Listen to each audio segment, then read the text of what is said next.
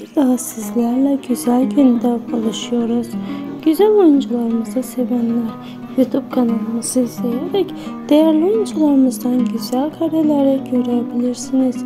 En son en güzel paylaşımlarla yeniden bir arada sizlerle beraber olacağız. Şimdilik bizden bu kadar. Hoşçakalın, sağlıcakla kalın.